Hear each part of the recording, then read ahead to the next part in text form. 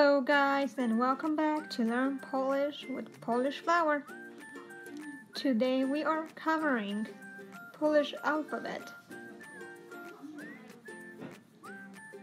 A. Adam B. Bank C.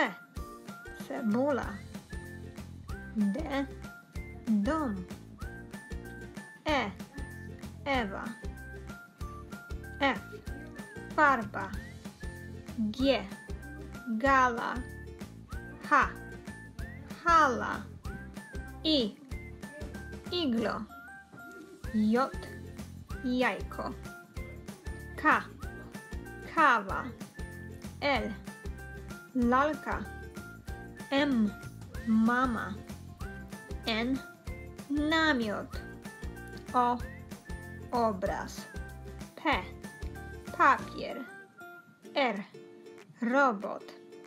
S. Sobota. T. Tata. U. Ulica. W.